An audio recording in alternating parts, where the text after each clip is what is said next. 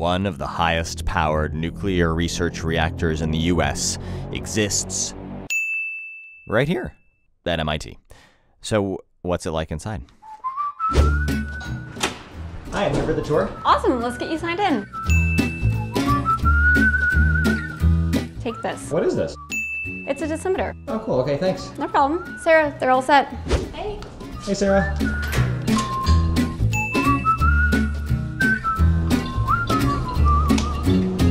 What's that? What's that? Oh, that's my light that I turn on to let everybody know that I'm in the lab. Oh, cool, okay. So what you might not realize is that the reactor has very specialized parts, and if something breaks or something needs to be replaced as preventative maintenance, we can't just get a catalog and order a new part. We have to actually rebuild it from scratch. So this is why we need machine shops here on site. So this is where you do that? Yes. Hi, PJ. Hi. I got started when I was a freshman in undergrad. um, I was hired as a part-time student operator and I stayed through all my years at MIT and through grad school at MIT and now I work full-time here. All right, let's keep going. Okay. Why is there this big imposing door? So the containment building is airtight and this way any air that is going to leave the building goes past detectors and filters to make sure that we're not putting radioactive material into the atmosphere in Cambridge. So right now we are trapped. No.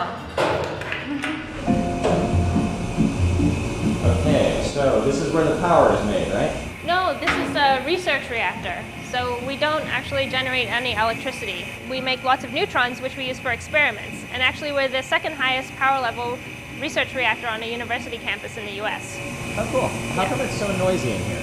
Uh, we have a lot of instrumentation um, running around us. We have some radiation detectors, so there's an air monitor here. And we also have an area monitor on the wall up there. And these help us to know what the radiation level is around us as we work. Because our body has no way of sensing radiation. It's not something that we can detect as human beings, so we have to have instrumentation to help us out. How much is that? What, what does the 0.1 mean? So it says 0.1 right now, and that's the reading in millirem per hour, which is a unit of radiation per unit time. And to put things in perspective, you get about one millirem per day living in Boston from background radiation from space and from granite rock in the ground. Let me get this straight. We're standing 14 feet away from the core of a nuclear reactor, mm-hmm. and the amount of radiation we're getting is the same as if we were standing on the street in Cambridge. Correct. How is that possible? Concrete shielding, and I'll show you. Okay. So this is the outside of the shielding around the reactor core. So this big cylinder of blue thing here? Yeah, this light blue cylinder that you see here. And it's about five and a half feet thick concrete shielding that's heavy dense concrete, so it's got metal punchings in it as well as sand and water that makes it better for absorbing radiation. So it's not regular concrete? Yeah, it's special concrete. Nothing is regular in a nuclear reactor. No. and that's where the nuclear reactions are taking place. So the fuel is loaded into the reactor core and the uranium-235 atoms are splitting, which releases some neutrons, and those get absorbed by other uranium-235 atoms, which split and release more neutrons. So all the neutrons that we use come from the core here. Hey, Paul. Hey, Sarah. So what's what's Paul doing, Sarah? Paul's going to load some silicon into our silicon irradiation facility. So one of the things that we do here at the reactor is we irradiate silicon to be used as semiconductors. So silicon by itself is not a good conductor, but by irradiating it with neutrons in our reactor, we can change some of the silicon atoms to phosphorus atoms, which is called doping. So we dope the silicon material so that it has a distribution of impurities that cause it to become a semiconductor. So semiconductors can be used in all kinds of electronic applications, but the way that we irradiate silicon here means that we can be very precise so the silicon that we produce here ends up in very critical applications such as airplanes and the power grid. Let's go see the reactor top. Okay, let's go.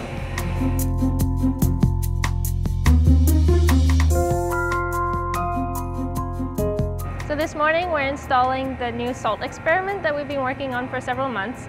And this experiment will stay in the core for a thousand hours to be irradiated by neutrons. Let's go. This is the place where the tours normally stop, Yes, that's right. and you're and you're gonna let me go past it. Just you. So what do I need to what do I need to wear? So I'll show you what to do. Okay. You need to you need to grab some rubber booties and put them on your shoes. Okay, now I step over here. Yep. Okay, and so my other shoe is still back here. Yep. And then I get the other one. Yep. Anyone, they're not pairs.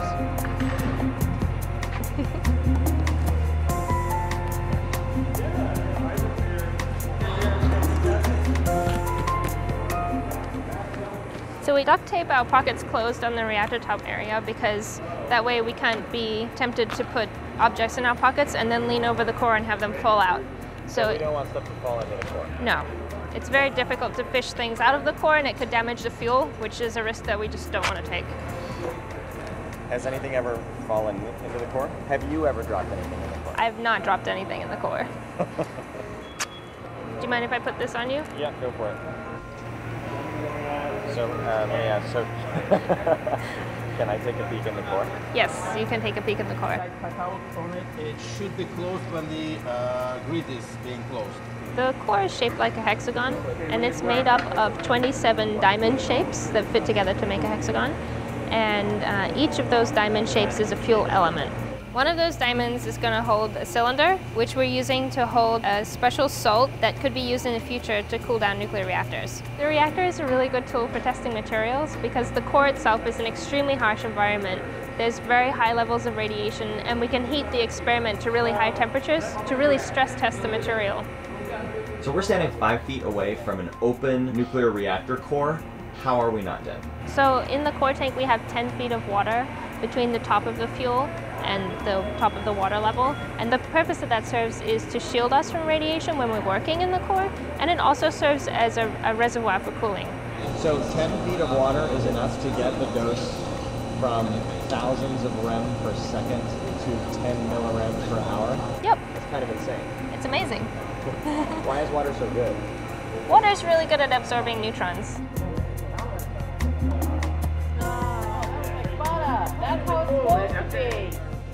Success. Guess we're ready for the next step. So the first thing we do is take our gloves off, put them in the trash. Can you help me? Yep.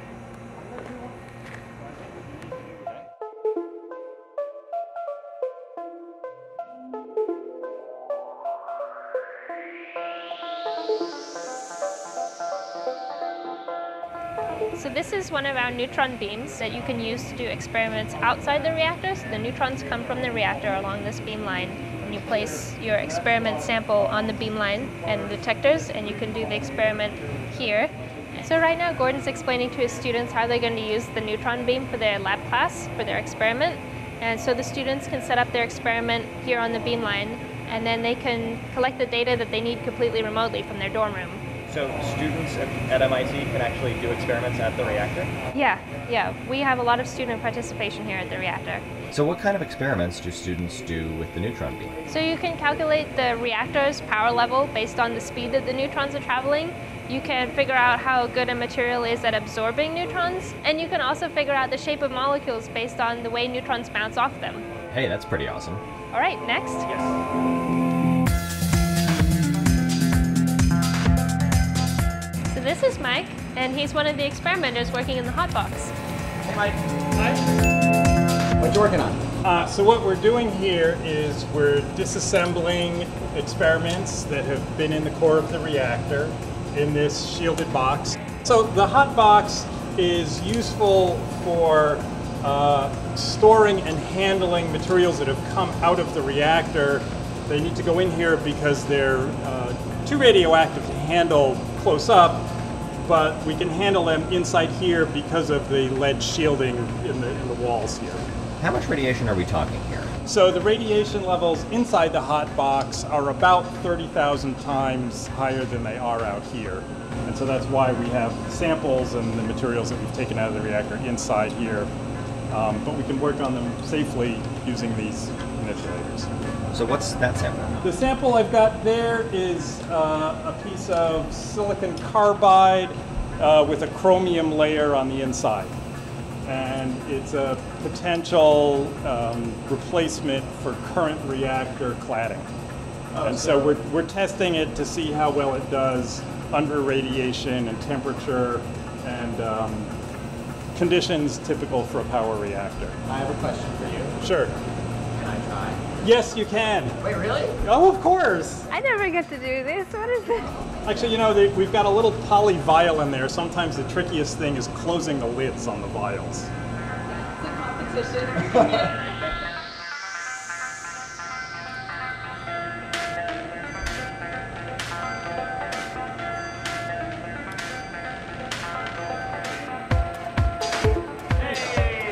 Cool, thanks, Mike. See ya.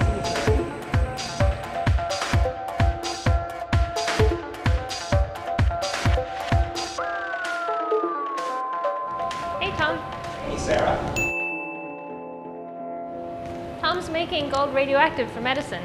Wait, what? So uh, we were actually going to be taking some gold pellets and uh, using a rabbit, uh, insert them into the reactor into an area with a lot of neutrons, uh, and the neutrons will make the gold radioactive. So when the sample comes out, we can then ship it to a hospital where they can eject them into a tumor in order to cause radiation damage directly to that tumor. So, wait, what about rabbits? So they're not real rabbits. We have these poly sample holders where we put the gold directly into. So you put the gold in the rabbit and then. So the rabbit would go from where we inserted it through this tube and into the reactor. And then when it's finished, it will come down the tube and out into our shielded hot cell. So when the material's radioactive, the radiation is all contained inside of our shielded area to work with. Okay, see you, Tom. Let's go to the next stop. Okay. About to enter the control room, and the control panel is on the right, so please try to keep on the left. So I shouldn't push any buttons, right? No. Hey guys. So this is the control room, and uh, the most important thing in the control room is the operator, who is Sarah right now. Sarah is actually a student operator, and Paul is the shift supervisor currently. So right now they're working on the startup checklist to start the reactor back up. Cool. Weren't you doing something with silicon earlier? I was indeed. But you finished, I finished that. and now you're here. Correct. Isn't it weird how one person can move from one place to another? Do you have a favorite button?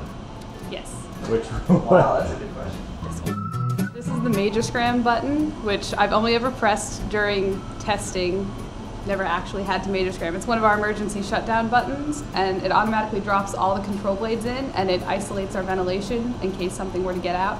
But I just like it because it's the big stereotypical red button in the reactor. Uh, do you know what every single one of all of these buttons do? Yes. Some of the experimental ones, uh, I wasn't covered in my training because I don't have to run the experiments, but all of the regular operations ones. What is high temp D2O reflector cleanup system? So the reflector system with heavy water has a cleanup loop where it flows through an ion column, and if the water gets above 50 degrees, it could potentially damage the resin in the ion column, so that alarm will go off to tell you that you need to cool it down or you need to bypass it. What does DP3 30 PSIG mean? So that's one of our uh, pressure gauges for our heavy water system. That's what the D means. That tells you reflector system, the P is pressure, and then 3 is just the number demarcating it. What's this gauge do? This is for auto control. So using this gauge here, you can set your auto control to tell the reactor this is the power I want to stay at. And this gives you the percent deviation. So if you're too high or low, that needle will tell you. You want to keep it at zero. What's this knob? So we have six different shim blades, and you can only move one at a time. So this is to select which one you want. So right now three is selected, Okay. but you can turn it, and you can pick a different blade, just whichever one you want to move. What is this? This is the official con- console clock. So you're a student, you said? I am a student. Okay, what year are you? I am a sophomore. So you're a sophomore at MIT, Yes. and you are running a nuclear reactor. Yes. Pretty freaking awesome. Okay, so what, um, uh, what kind of training do you have to go through to be able to sit at this console? So there's a lot of uh, studying through systems manuals, technical specifications, all the alarms and procedures, and then there's hands-on training where you come and you sit training watches and you'll perform practice startups supervised by your training supervisor. Okay, so you passed my test, but please tell me there's a legit test you also have to pass, right? They fly in an examiner um, who's an examiner from the NRC, and she'll come and she will watch me do a startup and a shutdown. Uh, she'll, I'll give her a tour around the facility, and she'll ask me a bunch of different questions about all our systems, and then she'll give me a written exam that covers safety procedures, um, radiation protection, reactor physics, things like that. So you have to be prepared in all areas of your training for the exam. So did you pass? So I have passed the exam, which means I'm licensed by the government to be able to take shifts and be on console by myself. Um, to start up the reactor, you still need your supervisor in the control room with you, but I can perform all the operation duties in here alone. All right, thanks guys. See you.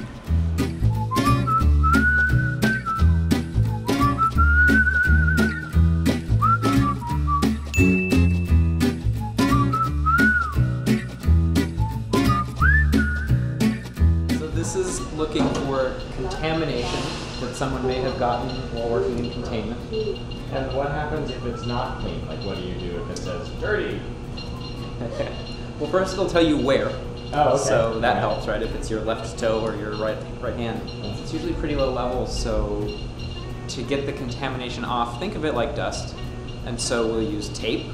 We'll have light hand washing, and usually it's as simple as something on a lab coat cuff, say that somebody has been working with a contaminated sample, and we'll just take that lab coat and put it in our laundry facility and get it clean. This looks like you know that thing from the movie Interstellar. You Yes, know, I love uh, Interstellar. uh, yeah. Uh, what's this? What's Tars. Tars. Yeah. that looks like Tars.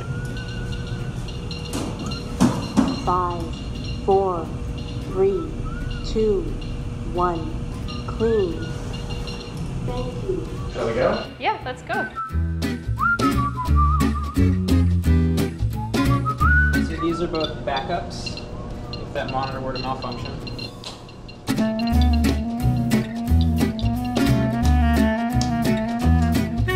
See ya. See ya.